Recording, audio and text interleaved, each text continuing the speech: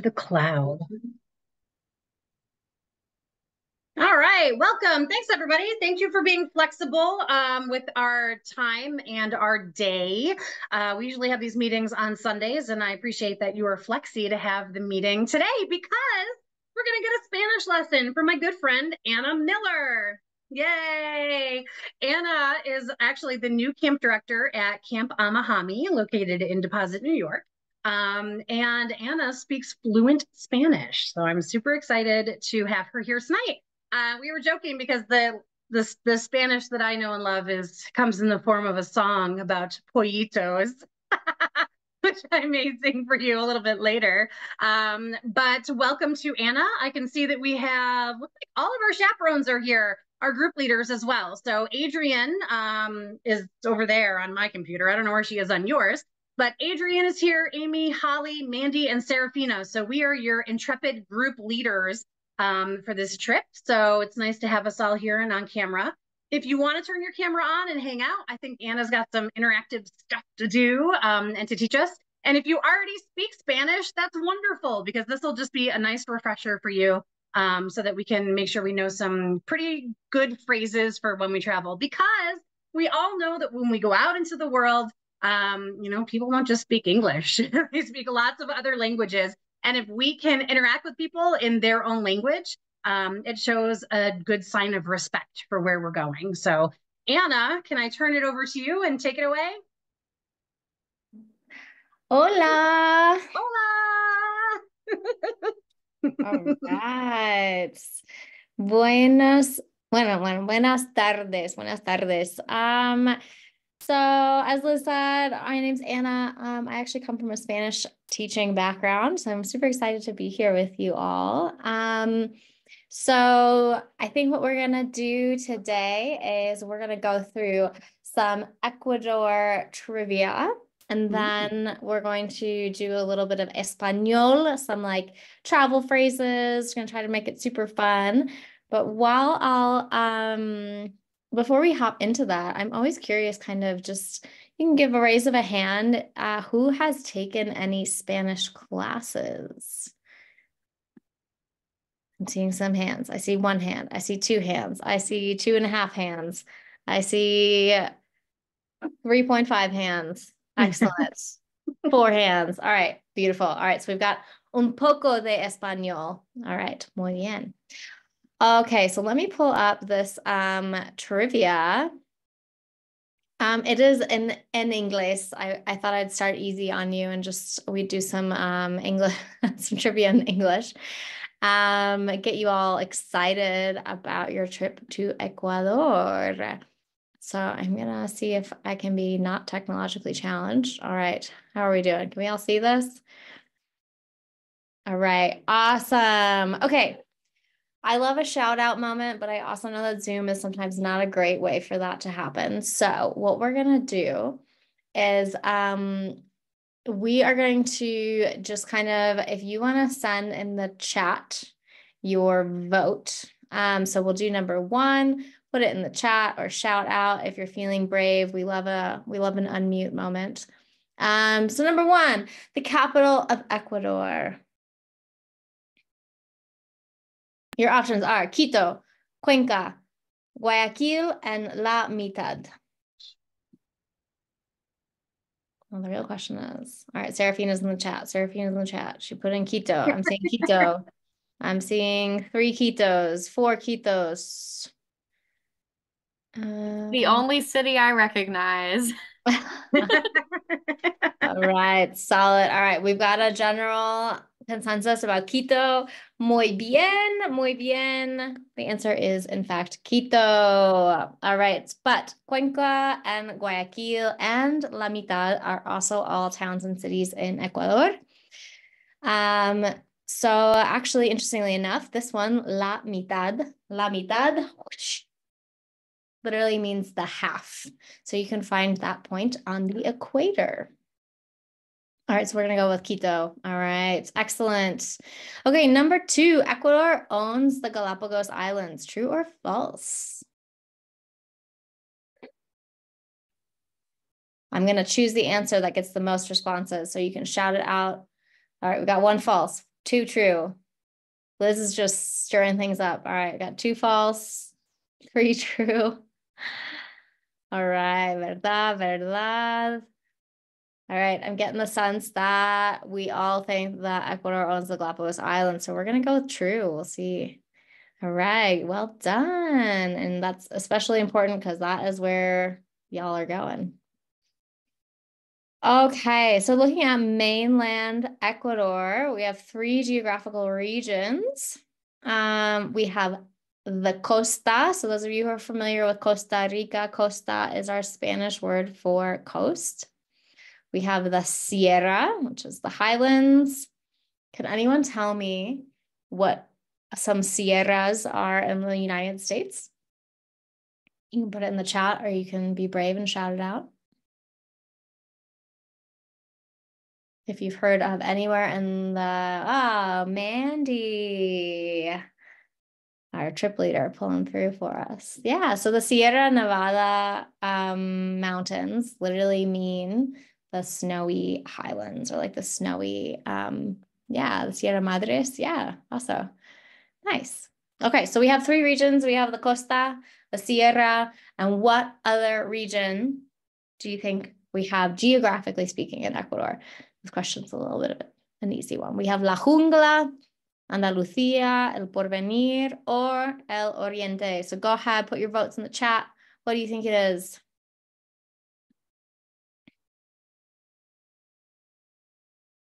La, all right, Serafina's putting in a vote for La Jungla. La Jungla from Sophia. Amy's saying La Jungla. Nice. All right, I think we're all feeling very confident about the Jungla. All right, and now you know how to say three different things in Spanish, and that's also pretty good. I'm getting sadder about my Spanish pronunciation by the minute here. you got this, Liz. You got this. Yeah. So that J sound is always going to be a huh, like huh. La jungla, la jungla. Yeah. All right. I'm sad about. That's why we're all here, Serafina. We're here to learn. Okay, number four, you can visit a monument marking the equator in Ecuador. True or false? I see a thumbs up. We can do a thumbs up for true. True, true. Yeah, awesome. So knowing that, what do you think Ecuador might mean in Spanish?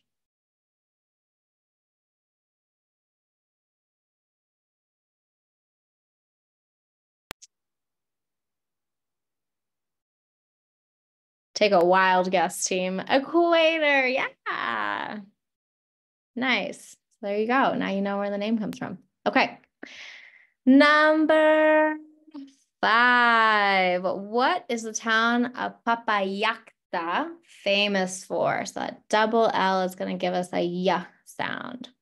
A couple options. The tallest mountain in Ecuador, natural hot springs, sheep farms, or marketplaces. I'm going to give you all a hint on this one because um, I'm gonna we're gonna narrow it down to the tallest mountain in Ecuador or natural hot springs. Sorry, Liz. Ooh, you guys voted sheep too soon. All right, hot springs got two votes for hot springs. I'm seeing some nodding for hot springs. All right, let's check it out. Nice. So we got some natural hot springs in there. Papallacta. Papallacta. Okay, number six, and this is going to be really important. So this is why I wanted to start with culture because I think um, part of language is culture.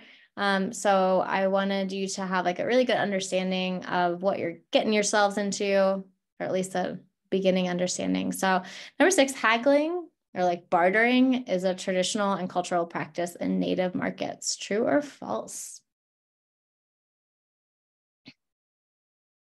Seeing some head nodding, seeing some thumbs up.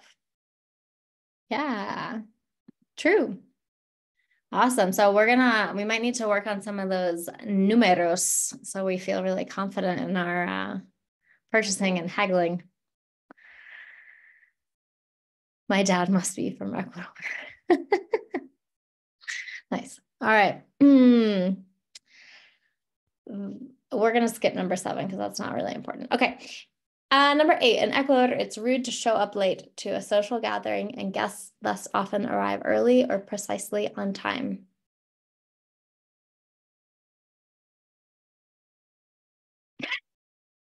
Seeing a thumbs down from Liz.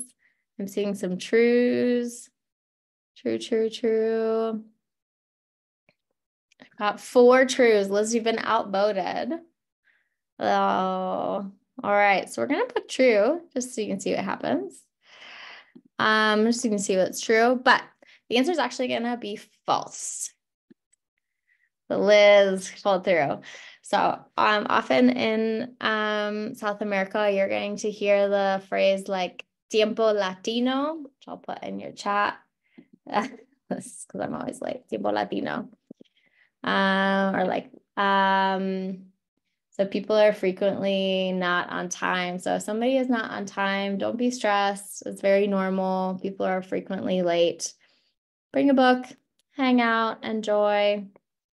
I will say though, a rule of this group and our trip is that we're not going to be late. We are going to be on time because what's that famous phrase? Amy, do you remember it from our previous trip together?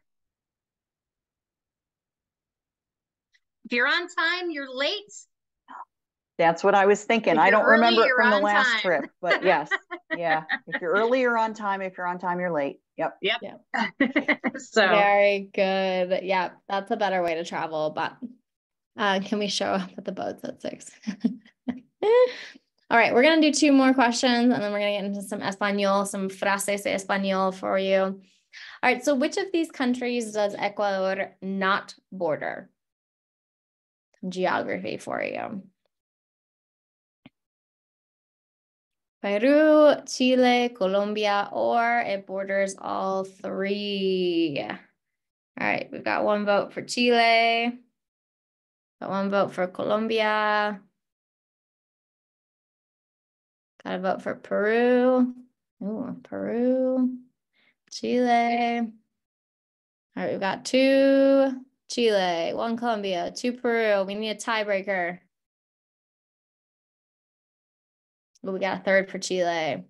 That is correct. It does not border Chile. So we have Bolivia, or sorry, we have Peru that's in between where Ecuador and uh, Chile are. Awesome. Okay, we're going to go on to a different quiz um, because I think quizzes are fun and it's the easiest way for us all to learn. All right, so I'm going to have you all, since we've got some mixed Spanish, we're going to go through some Spanish phrases just for fun. You don't have to unmute yourself if you would like to, you can. I'm just going to have you all repeat after me. All right, so we've got a couple different phrases in Espanol. So this should also say buenos dias. So that's that's wrong. That should be a buenos dias. All right, so I'll have you all repeat after me. Buenos dias.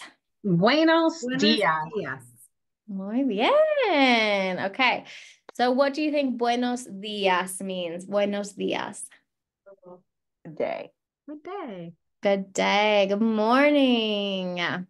All right. And our next one, we have buenas tardes. Buenas tardes.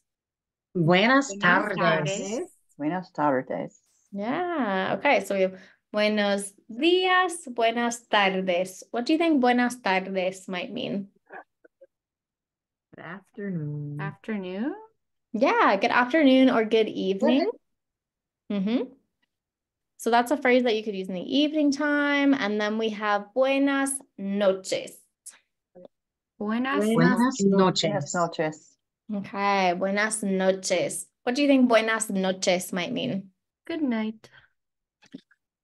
Awesome. Okay. So which one of these do you think is probably not going to be used as a greeting? Buenas noches. Yeah, buenas noches, because that's what you're going to say right before you go to bed. Okay. So that's a really good way to say goodnight to somebody. It uh for the first one, Liz, it should be buenos dias. Buenos. Buenos. Buenas. Yeah. So buenos dias, buenas tardes, buenas noches. Yeah, muy bien. Okay, so in Spanish, there's a lot of ways to ask how are you or how you're going. So this will put some of you all, I thought you meant nachos. So this will put some of you all to the test, those of you who have taken some Spanish classes, but I'll have you all repeat after me for them. All right. So the first one we have is ¿Cómo estás? ¿Cómo ¿Cómo estás? estás? Yeah. The second one we have is ¿Qué tal? ¿Qué tal? Tal. ¿Qué ¿Qué tal? tal? Yeah. Um, the third one is ¿Cómo eres? ¿Cómo eres? ¿Cómo? ¿Cómo eres? Yeah, muy bien. And the fourth one is ¿Cómo va? ¿Cómo va? ¿Cómo va? Yeah. Does anyone know which one is not a way to ask someone how it's going or how they are? Those of you ¿Cómo who are va? ¿Cómo va? We have a we have a guest for ¿Cómo va? ¿Algo más? ¿Eres? ¿Cómo eres? Hmm. Where are my Spanish students? I saw you in there. I'm gonna tell your Spanish teacher on you. Dun, dun, dun. Dun, dun, dun. So the correct answer is going to be como eres. So como eres is how we ask how like what someone is like, maybe their personality, um, their characteristics. So you can use any of those to ask like como va is like an informal way to be like, how's it going? Like, oye, ¿cómo va? Oye, como va? Mm-mm. Mire. Oh yeah, exactly. All right. So now that you know how to ask someone how they are, how would you respond to that question? So take a second, read them, and then we'll repeat the one that we would like the best. So we have soy bien, soy bueno, estoy bien, or estoy bueno. They all sound correct to me. right. Estoy Any bien. guesses? Estoy bien. Who said that one? Amy. Amy. Amy. All right, muy bien. So that is the correct answer for any of those like questions. ¿Cómo va? Um, ¿qué tal? Eh, ¿cómo estás? You can say estoy bien. So everyone try that. Estoy bien. Estoy Estoy bien. bien. Estoy bien. Perfecto. Muy bien. Okay, so now we have thank you and you're welcome. Okay, so which is one of the ways, first of all, how do you say thank you in, in Espanol? Gracias. Gracias. Gracias. gracias. Okay, so how do you respond to that? De nada. Nada. De nada. De, de nada. De nada. nada, which literally means of nothing. It was of nothing to me. De nada. Mhm, mhm. Awesome. Okay. Oh no, you're walking down the street and you accidentally bump into someone. No te preocupes. You can have a couple options to say how you're sorry. Lo siento. Is lo siento the wrong one? Yeah. Lo So siento. Is it? yeah. Is So that like is- I'm confused or something? No, that's I'm sorry. Disculpe. Yeah, so you can say lo siento. Mm-hmm. However, this is kind of a fun thing. So, lo siento is what we use when we're like apologizing for a really like sad or terrible thing. Oh. So, it's better to Oh. actually use disculpe. Disculpe. Disculpe. Yeah. So Can that I means say like- I'm I'm lamentable? yeah. I mean, if you wanna, if you really wanna like dig into that, like you can, but you might get some weird looks. That's the, the very dramatic way to say I'm sorry. Yeah. oh, I'm lamentable. Uh, yeah, I you could do plead the mercy of the court. Yeah. But I would, I would stick with disculpe or perdón, either one. Disculpe or perdón. Disculpe. Disculpe. All right. How do you introduce yourself? Do I have any brave volunteers? A couple options here. Me llamo.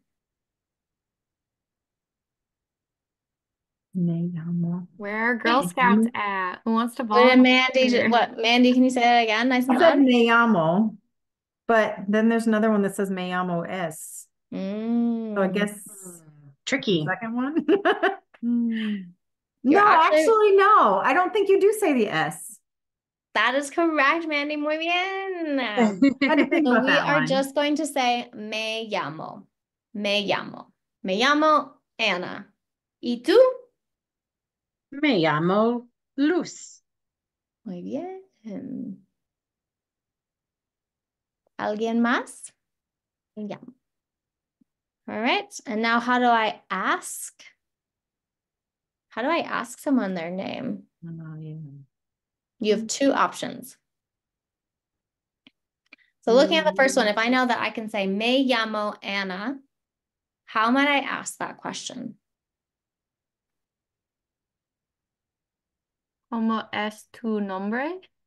Yeah. So como es tu nombre is actually one of the ones that we're not gonna use. That one's out, but so you can use any of these. So let's practice this one because it's the most common. So I'll have you all repeat after me. ¿Cómo te llamas? ¿Cómo ¿Cómo te te llamas? llamas? ¿Cómo te llamas? ¿Cómo te llamas? ¿Cómo ¿Cómo te te llamas? And how do you answer it? Me llamo Luz. Me llamo. All right. Muy bien. Okay. Um, we're coming to the end here. All right. So you've just met somebody and you want to let them know you're pleased to have met them. Mm. Work on finding your Spanish name. Yeah, that's good. Hmm. Um, our most common one, so I'll just highlight the most common one here is mucho gusto. Mucho gusto.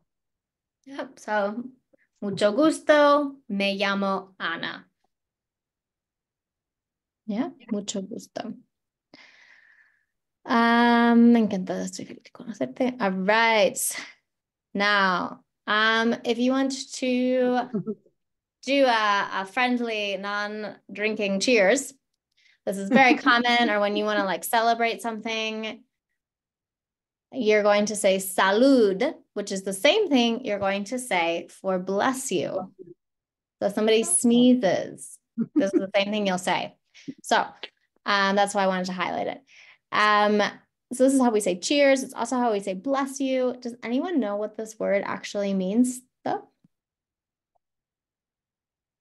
Salud. Salud? Yeah. Salutations? Okay. Yeah. Salud means health. Salud means health. So when you salud or salud, you're you're wishing for someone's good health. Salud. Salud. All right. And our last one. All right. We always need to know how to ask for help. Help. Something horrible has happened. Ayúdame. Ayúdame. Muy bien. Ayuda. Ayúdame. Ayuda. Yeah. Awesome. So that's a really good one. Um, ayuda. Awesome. Well, I've gone over my time. So thanks for. um, Anyone have any questions for Anna? It's a good opportunity to ask. Oh, our, we had a seven out of 10. Um, anyone have any questions for Anna about how to say certain things when we're cruising around? I know one thing for me when I took Italian, it was a must for anybody that was going to Italy to ask where the bathroom was. How can we ask where the Mhm. bathroom is, assuming we're all gonna have to go to the bathroom at some point in Ecuador? Yeah. Does anyone know? ¿Dónde está el baño? Um, Yeah. Oh, muy bien. Muy bien, Amy. That All is right. 40 year old high school Spanish. Yeah.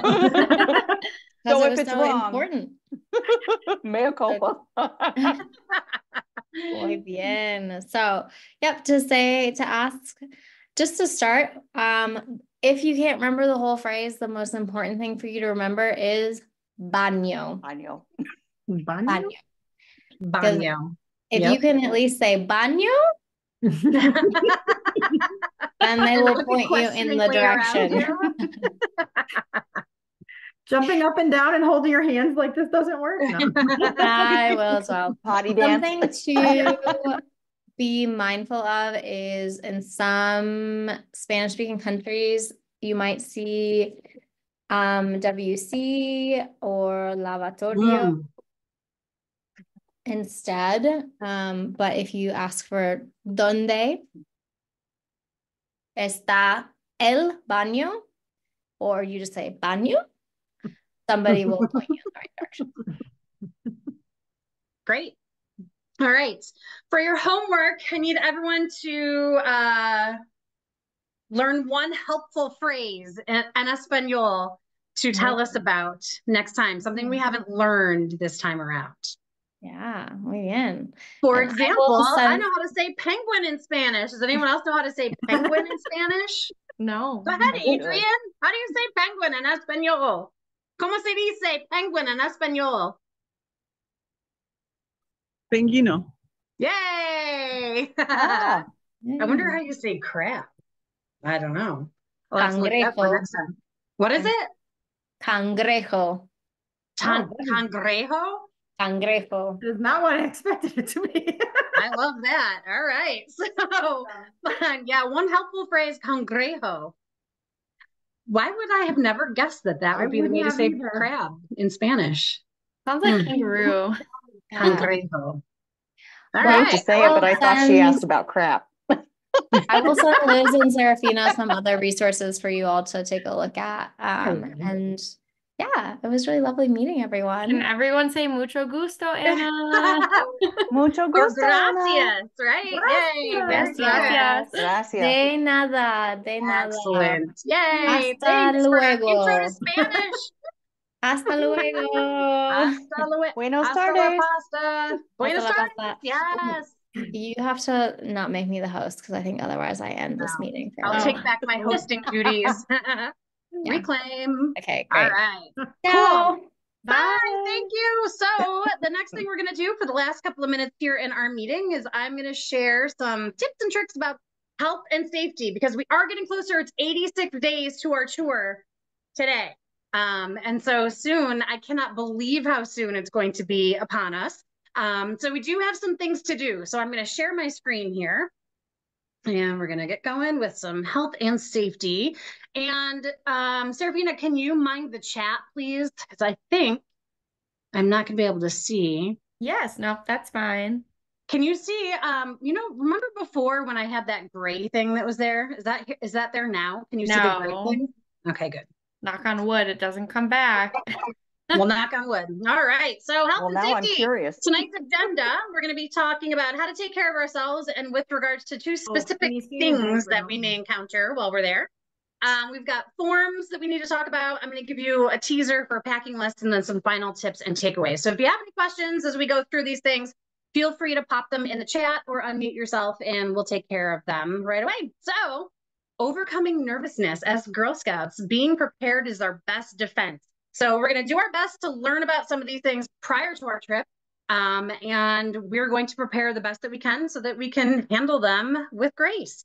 Uh, we might see some hammerhead sharks there. I'm super excited. So it's the cool, dry season in the Galapagos. Um, the sort of cooler season starts in June ish and runs to October. And this is when the Humboldt Current is coming up um, through the Pacific Ocean and towards the Galapagos and it's bringing all sorts of nutrient rich water um, to the Galapagos Islands. And lots of animals are coming here to the islands in order to eat um, from the Humboldt Current. So um, we may see some hammerheads. I've heard that they've been seeing some whale sharks in the area, which is super cool. Um, definitely some penguins and flamingos and, and those types of things. So, anyways, I always have to mention something about animals.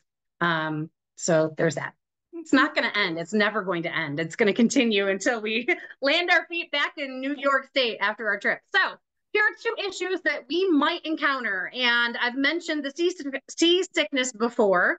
Um, but in a previous meeting um, afterwards, someone brought up the fact that we might also encounter altitude sickness. So thought I would just mention those two things today. Um, sea sickness may occur for us because although it is the cool, dry season, it also means that the the ocean is a little bit choppier than it normally would be um, during the warmer season. So, unfortunately, the boat ride might be pretty choppy. Each boat ride can last be around two hours between the islands. Um, and our transfers typically take place around 5 a.m. So we have to wake up really, really early in order to catch these transfers from island to island. Um, and the reason is because the longer the day gets and the warmer it gets, the choppier the ocean gets. So the sooner we can get out onto the water and get into the boats and make our transfers, um, an, e an easier ride we're going to have. Oops, hold on. Back. Previous altitude sickness um, might occur because Quito is the highest or the second highest, depending on who you talk to, capital in the world at 99,350 feet above sea level. Just to give you a perspective, our current sea level, if you're in the city of Syracuse or close by, is 381 feet above sea level. That is a huge difference. Um, and the reason that Quito is the highest or the second highest is because Bolivia, the capital is like changing a lot, and sometimes it's La Paz, and sometimes it's not. Really depends. Um, and that is higher depending on whether Bolivia is considering it their capital today or not. So, anyways, uh, Denver is 55,280 feet. It's called the Mile High City for a reason. That's a mile right there. Um, so, if you've ever been to Denver, um, we're going quite a bit higher than that. So, I've never been to Denver. I've never been like in a mountain, I don't think. Maybe, I don't know if the Appalachians count because they're really short. Um, so we'll see what happens. But um, it's caused because uh, there's lower oxygen levels. The higher you get in altitude, or elevation, um, the weirder the oxygen gets. So you might have, feel faint, have a headache, feel extra tired, that kind of thing. Um, but it's not insurmountable. So let's figure out what we can do about it. So the first thing we're going to talk about is motion sickness. So I get car sick in the car when it's raining typically, and if I'm not driving. So I know that I do at least get motion sickness sometimes. I went on a whale watch in Boston on a boat and it was super choppy and I did not get sick. So I don't know what's going to happen on these on these boat transfers. Um, if you haven't ever been on a boat before, you might get sick. You might not. Who knows? Here are some ways that we can ease it, though, if we do encounter motion sickness. I'm going to recommend that everyone bring um, a motion sickness medication. Uh, Dramamine is probably the most popular uh, or well known of the medications. Um, but you can get any of the generic Dramamine, mm-hmm. I think is one of them. There's one maybe called Bozine or Brozine. I don't know. There's a ton of them. Ask your doctor what they recommend. Um, if you've never taken this before, it might be a good idea to do a little test run just to see how you react to it. Dramamine is an antihistamine, which means it might make you a little bit sleepy or drowsy if you take it. Um, Dramamine does come in Dramamine for kids as well. So um, if you're under the age of 12, you might want to go that route. Um, but if you have questions, certainly ask your doctor what they would recommend it recommend. Um, I've also had patches that I put behind my ear before on planes, and they work pretty good as well. I think you can get them over the counter, but I know that they have prescription strength ones as well. If you know you get motion sickness, it's likely you're going to get sick on the boats. So prepare yourself um, ahead of time. Everybody that I've talked to in chat in the Facebook group for this trip has said pack them, um, even if you don't think you're going to need them, and pack extra um, because you never know when or how you're going to get sick. So we are flying and we're also taking boats. So keep that in mind.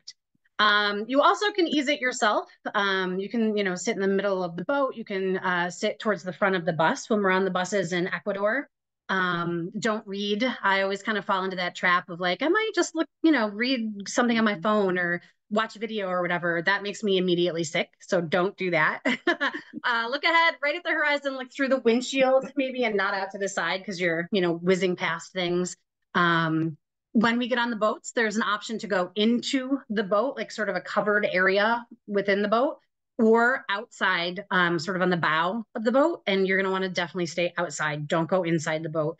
When I was on the whale watch and the ocean was very choppy, everybody inside got sick.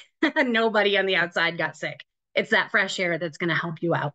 Um, and then, of course, we're going to help you through it too. You, if you get ill on this uh, boat ride, you're not going to be the only one. Trust me. So we're all in this together, and we're all going to do our best to make it work. Um, for altitude sickness, there's really not a whole lot that we can do about altitude sickness aside from get to a lower altitude, which we can't do because we're going to be in Quito. So a couple of quick things that we can do about this is drink lots of water. And I'm going to be saying this, and your group leaders are going to be saying this throughout the trip. Water, water, water, drink Great. the water, all the water. I also highly recommend something like Liquid IV, which are those hydration packets. You can get them at Costco and you can get them at Target. Um, you can get Gatorade ones if you don't like the liquid IVs or whatever. Um, they really helped us out when we went to Italy and Greece, where it was like 100 degrees every day and we were just sweating buckets and buckets and buckets every day.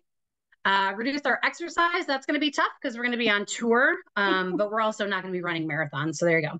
We're going to try to sleep as best we can on the plane. And when we get to our hotels, um, I have a, I can pretty well guarantee you you're going to be exhausted when we get back to our hotels. So that's probably not going to be a problem.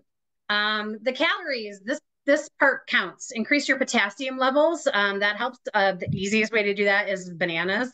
Um, they have lots of potassium in them. Other foods do, like beans and sweet potatoes and things like that, but they're a little less like plane friendly. I will not recommend you bringing a can of black beans onto a plane to eat. Um, so bananas are pretty portable and easily findable. So, you know, that might be a good choice.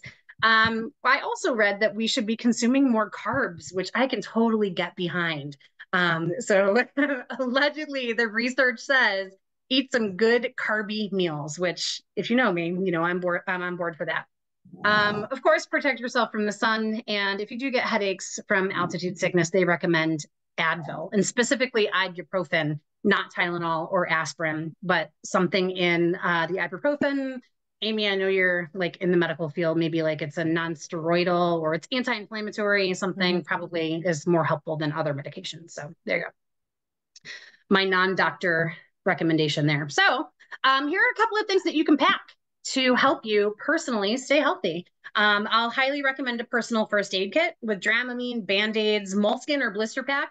Um, I put my Chacos on for the first time because I was like, hey, it's kind of sunny. I'm going to wear some sandals. And I immediately got a blister on the bottom of my foot. I don't even think I walked anywhere. I just put them on my foot and my foot was like, no, and it rejected it. And I have a huge blister now. So you're definitely going to want to look into some moleskin, um, which isn't made out of real mole, just FYI, um, and like a blister pack, kind of blister medic stuff. Um, Advil, Tylenol, liquid IV, and I would also recommend Imodium, um, which is for diarrhea.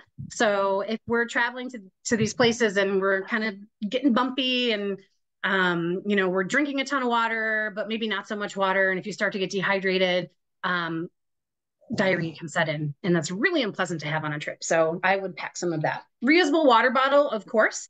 Um, I would recommend something that's insulated so it stays cooler longer. Snacks, trail mix, fruit snacks, etc., whatever you like. Um, I just really like this picture of this ginger dude down here. Can you see him? Oh, I clicked on him. So in my previously I've eaten those Dramamine like ginger chews and they're okay, but gin gins, I'm gonna order bulk. I think I'm gonna get some bulk gin gins for us and hand them out at our last meeting in June. I don't I don't care for ginger candy, but the ginger Dramamine chews definitely help. They taste weird, but they're effective because ginger is a natural way to like fix your upset stomach. So there you go. Insect repellent wipes. I have been reading that there are quite a few insects in the Galapagos Islands, um, and the people don't really talk about them because you get distracted, but they're there. They're always there. So repellent wipes, not the spray or lotion, because that's going to take up your uh, liquid um, property that you don't want to take up. Earphones or uh, AirPods, music that's downloaded. So download some music to your device if you can, so that you don't need Wi-Fi or the internet to listen to it. And this could help calm you on the boat um, as we're traveling. Just listen, get some sea music out there um, and to calm yourself down. And then, of course, sunscreen. We're going to pack so much sunscreen. It's going to be like just extensions of our hands.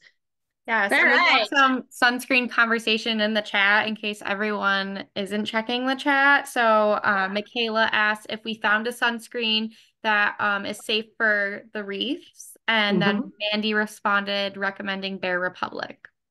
Mm, mhm. So it, it looks like this. If anybody, and I've used this on my face and never broke out or anything. Like this is what I use on my face, but they also make, I mean, you can use it on your body too, but if you want like, you know, not face stuff, they make it in regular too. Yeah, um, I just bought some from Wegmans actually the other day. I don't know what I did with it. But do we know if Um, it's good for the reef? Yep, it'll No. say reef safe Yes. right on there. Yeah, Yep. it does. It's, uh, this is reef friendly. Um, yeah, and anything that is reef safe should say reef. Yep. on, Like. Awesome. Yeah. Yeah, I think a lot of uh, sunblock makers nowadays are really trying to be more environmentally friendly, and you know, most most sunblocks that you're going to encounter at least have a reef friendly um, on it. You know, so there you go. Um, I like the ones that you can roll on. There's like the roll on or the like stick sunscreens that are like deodorant sticks. Um, so I'll be packing one per day, and if anyone needs anything, so there you go. Um, good. So health and safety forms. We do have some forms that we want to fill out. Um, they're actually required, so uh, you're going to fill them out. So there's a couple here that I'm listing, and they're not attached, obviously, to this PowerPoint, um, but they're your typical like forms that you we generally fill out. So the Galapagos Code of Conduct. I'm going to send this to you. I'm going to send all of these to you via email and a follow up after this meeting. Um, that code of conduct is basically just the Girl Scout law, promise and law, essentially. We're going to respect the places that we're going, the people that are there, um, keep ourselves neat and clean. We're not going to, you know, litter and leave garbage all over the place. Um, no alcohol consumption on this trip. That's part of it as well. No smoking, no vaping, um, all of those things, and a couple of reasons why you could be sent home. It's also going to talk a little bit about what happens if you do breaks the rules and end up um, being asked to leave the trip, which can happen um, based on your conduct. So, but I know you all are good Girl Scouts and we're not going to have a problem with this. So, read through that. If you have questions about it, we can talk about it at the beginning of our next meeting as well. I also have a form for medication for travel. Um, if you are bringing medications, um, this is sort of going to get treated like a troop trip someplace. Um, and most of you are old enough and or are traveling with an adult. So you're going to keep your own medication. Um, I can collect controlled substances if you choose for me to hold on to them. Um, but I'm really going to uh, have you all keep your own medications. This medication for travel form is going to give permission for you to self-medicate. Um, of course, if you have something like an EpiPen for allergies um, and need assistance with that, we are going to help you. We're gonna we're trained in that, so we can help you with EpiPens and, and such. Um, but this one is basically to keep track of the medications that you'll need um, and gives permission for you to self-administer. Um, I would also try to bring maybe don't bring your entire medication. I'll recommend that. Don't bring your whole thing. Um, bring enough for probably two weeks. I would say, how long are we gone? Eight days. I would bring twice as much as you would need. So if we're going for eight days, just plan ahead, just in case you never know. Bring an extra eight days of medication if you can um, on the trip, in case we encounter delays or whatever. Um, traveler health and medical profile. This is actually from the EF website. Um, so it's an editable PDF and it just asks basic questions. Um, the medication part is uh, redundant with the medication for travel form. So you don't have to fill it out twice if you don't want to. And then lastly, a traveler info form. And these are just a few quick questions about you um, for the chaperone group. Basically, like, do you know how to swim? Have you flown before? do you have any issues that we want to make sure that we know about um, while we're traveling? That kind of thing, just so that we have a better idea of, of who you are um, and possibly how we can help you if we encounter some bumps along the road. Please make sure you tell me about any dietary or health restrictions. Um, if you need something specific, like if you have a CPAP machine and you need to have access to electricity, that might be important. I think we do have access to electricity most of the time on this trip, though. Um, and especially if you have food allergies, for example, if you're allergic to shellfish, that might be something that we will want to know, considering that we're going to a place that probably, I imagine, eats a lot of shellfish. Um, so make sure if it sounds like it could make a difference to your health and safety on the trip, just let us know. Um, we're not going to tell anyone else. This is really just for our, I don't know, our group leaderness. That's not a word. Anyways, questions? Sounded good. yeah, it does sound good. It's getting towards the end here. This is where I get a little loopy. so, just a couple of quick things on traveling safety. Um, we keep your passport on you at all times. I know that some group leaders um, don't require this. I do. Um, you can get you can get stopped at any time anywhere by any authority in countries that we travel to who will ask you where you're from and where's your identification.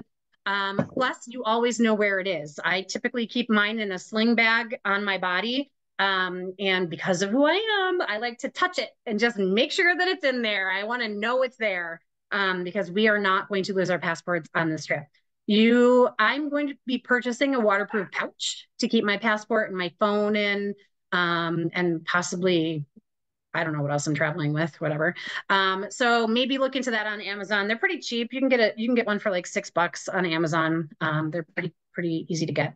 Keep your money wallet in a pouch or pocket that's not easily accessible. Um, so you know we want to make sure you keep that close, especially in Ecuador and Quito while we're there. We're going to travel in groups at all times. Um, we're going to follow the rule of three. So no less than three people should be traveling together anywhere at any time. Um, and of course, stay with your assigned group.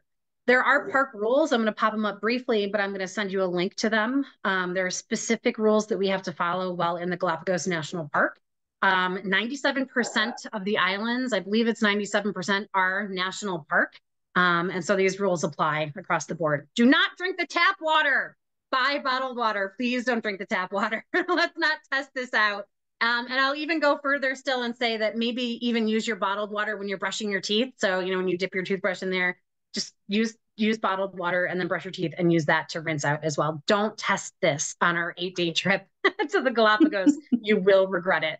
Um, and then lastly, in Quito, uh, be just be aware of overly friendly people. Um, I'm not certain exactly what the culture of Ecuador is, but I've read that that people are generally friendly.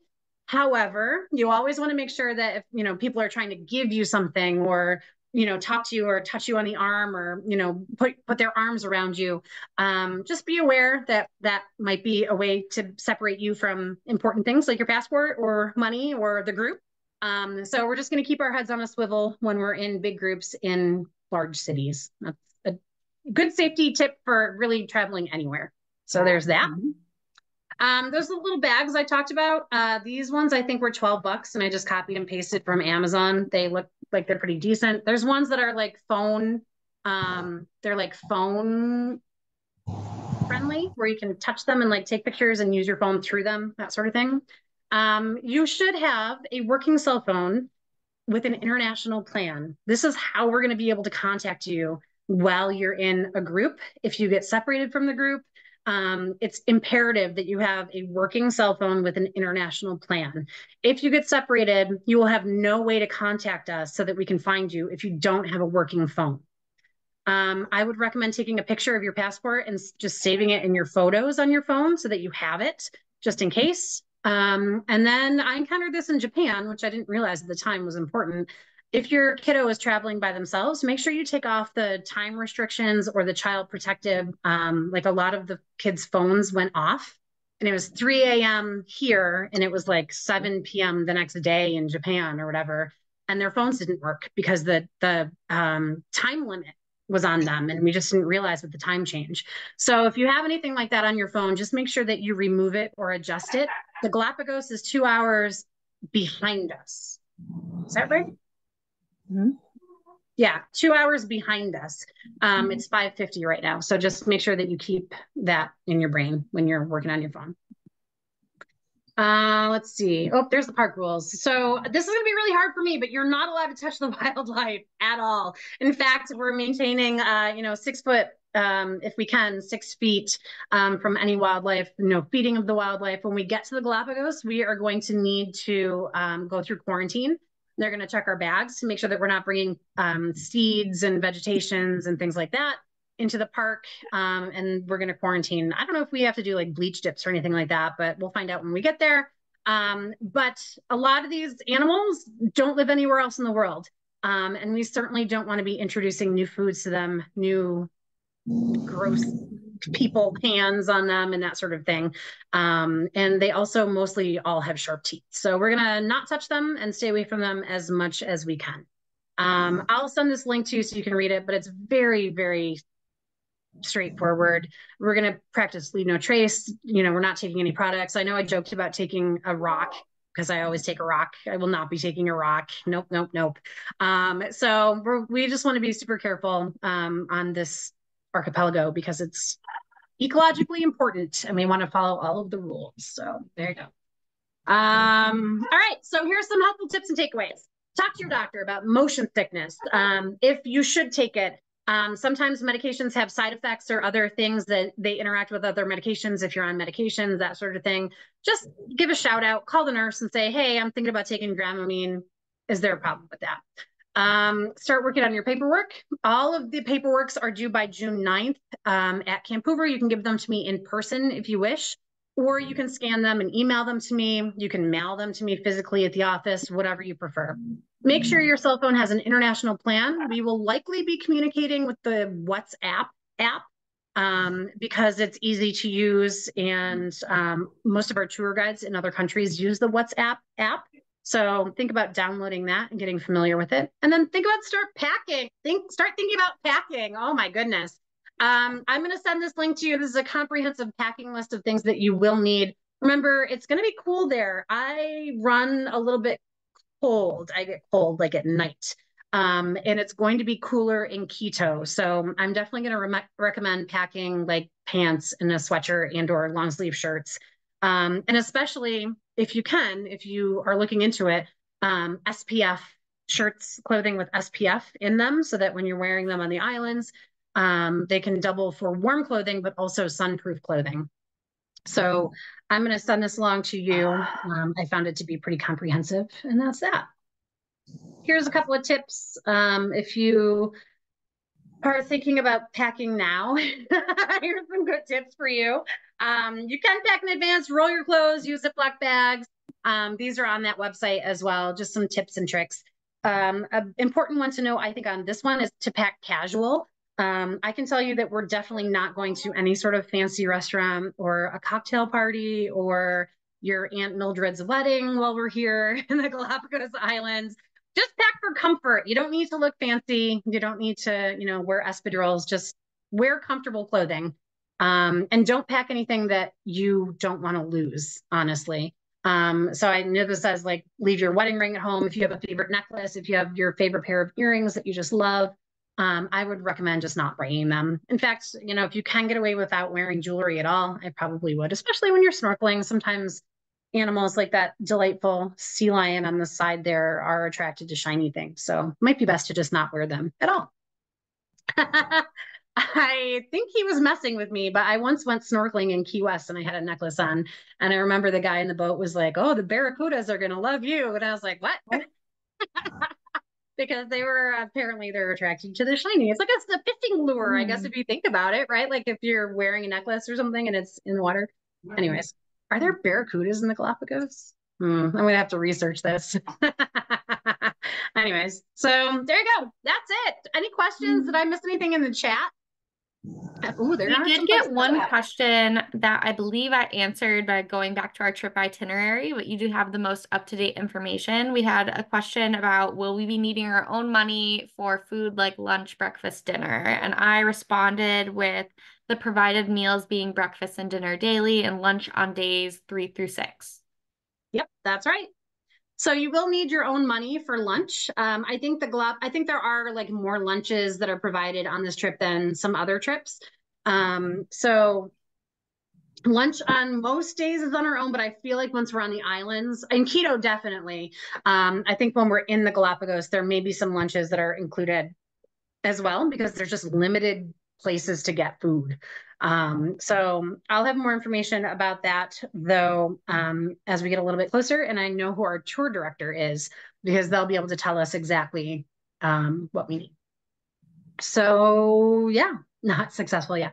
Yeah, I um I I'm not gonna lie, I'm I'm struggling I think with the cold I, my brain has been telling me like you're going to the, this tropical place and it's going to be super warm there um, but it's not and I'm, my brain is like struggling with that a little bit so. and everyone who thinks we're going is like ooh it's going to be so warm there palm trees and coconuts no. but i don't think that's real so um, as much as i don't want to pack cold weather clothing I, I think it's going to be important to do so so anyways. layers yeah, layers. layers. Yeah, yeah, yeah, yeah, Layers, definitely. Any other questions or comments uh, that you want to talk about before we we call it a night here? So it's almost time. Got another two or three minutes. Liz, it might be in the packing list, but do they recommend like for swimming? Like, is the water going to be super cold or? So the water is going to be this around the same temperature as the air, which is good. Um, but the air temperature is going to be between 73 and 77-ish. Um, so it's not going to be like your, you know, warm, like Gulf of Mexico, you know, Key West kind of water. Uh, it's going to be a little chillier. So um, keep that in mind. I recommend uh, bringing a couple of bathing suits if you can. Um, rash guards, of course, for you know SPF proof, um, and then towels. Don't forget that we do have to pack towels. Um, so as I think I mentioned before, I recommend those sand cloud ones, the ones that are really thin that you can roll up um, and shove in your stuff. But I would say two or three towels might be a good idea as well because we're going to be snorkeling. We're snorkeling. We're going to be on the beach. We are going to be going in the ocean. Um, and so having a towel or two would be great. Um, it's drier. It's a little bit drier in the islands at this time. So things might dry more quickly than they normally do. But um, really, depending on the humidity, um, it might take a while for wet clothing to dry. I would also probably recommend packing a um, like a wet bag for wet clothing that will keep it separate from your dry clothing. Um, you can even just pack like a big gallon size Ziploc baggie for it, or a couple of them, I would recommend, um, just so that the rest of your stuff doesn't get wet too. But uh, we're going to talk a little bit more about packing at the in person meeting on June 9th. Do you know if in Ecuador our phone chargers and anything we might plug into the wall, is that the um, same outlet as here, or Yep. is it like Europe where we need the converter? No, you don't need a converter. They're the same outlets as here. And excitingly for us, uh, the currency is the US dollar. So we don't have to exchange money either. Although I did read that a lot of places are cash only, um, and it's better to work in small bills. So start saving up your dollar bills, y'all, now, so that um, when we get a little bit closer, especially in the islands, when we're in the Galapagos and you want to purchase snacks and things like that, um, can't be rolling up with a $50 bill because I don't know if that's gonna I don't know how well that's to be received. Um, so the smaller the bills, the better. Um, and then we'll talk about, we've been selling a lot of cookies. Um, and so I think I may be able to alleviate um, girl tips. Um, and I'll have a little bit more information about that as we get closer. I'm sorry, adults, you're on the hook still for tip money because you don't sell cookies. So the girls, though, I'll have updated information about tip money as we get a little bit closer. For adults, um, plan on $100 right now um, for tip money, and I'll collect that at the June 9th meeting as well. Is that, is that enough money for all the tips for all the people for the whole tour? A hundred dollars? Yes, um, it should be. I'll double check it. Um, so I think that we typically, it's usually they recommend $10 per person per day. Our trip is eight days, um, and so it gives us a little bit of a buffer on that one. Um, the majority of the money will be going to our tour director. Um, and then we'll be parsing out to like the water taxi people and the bus driver and things like that along the way. So they've got a whole system, a whole like mathematical equation that I use in- to get tipping under control. So, oh my gosh, you can ask Adrienne about that. She worked with the penguins at the zoo in Syracuse for quite a number of years, and she'll be more than happy to tell you why you should not buy a penguin. I'll show you. Most of it, I think, probably has to do with the projectile poop that smells like fish, but you know. yeah. Any other questions, comments, concerns? 86 days. It's awesome. I can't wait. I'm so excited. It's going to be here in no time. Um, I am getting our lunch catered by Hope Cafe, by the way, um, on June 9th. So I'm providing lunch. Um, but if you have any allergies, let me know. Um, in my talk with the person, his name is Matt.